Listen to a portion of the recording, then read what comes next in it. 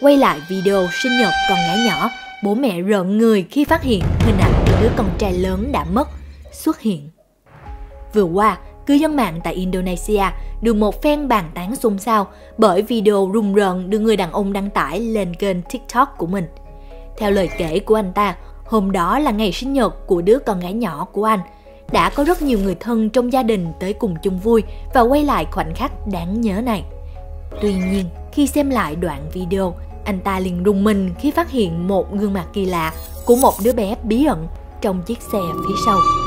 Điều quá sợ hãi và không thể nào lý giải được đó là gì, nên anh đã quyết định đăng tải lên mạng với dòng trạng thái.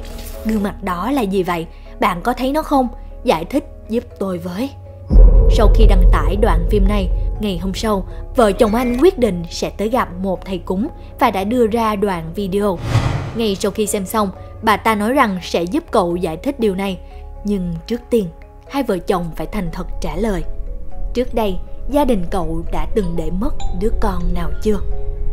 Vẻ mặt của người đàn ông ngay lập tức trở nên buồn bã và trả lời. Trước đây, vợ tôi đã từng sảy thai đứa con đầu lòng khi được 2 tháng.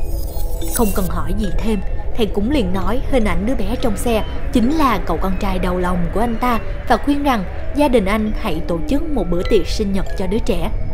Đa số người xem đều không giấu nổi cảm xúc hoang mang, sợ hãi.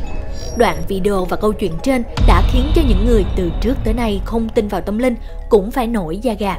Còn các bạn nghĩ sao về đoạn video trên? Hãy để lại bình luận suy nghĩ của mình xuống phía bên dưới cho mọi người cùng biết với nha.